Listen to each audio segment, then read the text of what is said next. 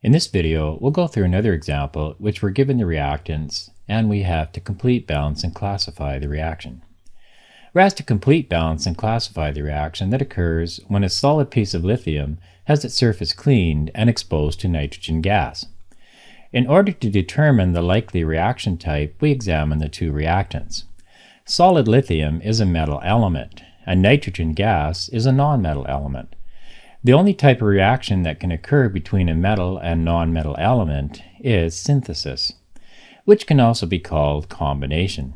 When a metal element combines with a nonmetal element, the product that forms is an ionic compound. To write the correct formula for an ionic compound, we need to look up charges of the stable ions formed by the two elements. Lithium forms the stable ion Li+, and nitrogen forms the stable nitride ion N3-. The correct formula for the compound formed from Li plus and N3- is Li3N, which we'll write here as the product. Our last step is to balance this equation. There are two N atoms on the left side and one N atom on the right side, so we write the coefficient 2 in front of the Li3N. Now there are two N atoms on both sides.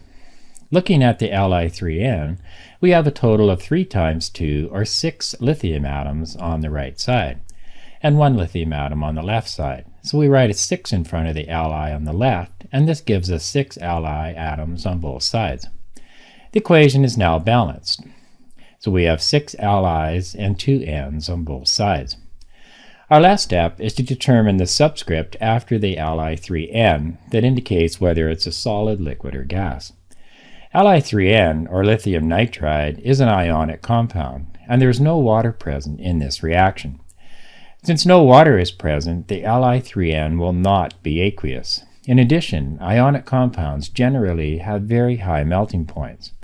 So lithium nitride will be a solid at standard conditions. Therefore, we write the subscript S here. So we can now summarize by saying that the final equation for this synthesis or combination reaction is 6 Li solid plus N2 gas forms 2 Li3N solid.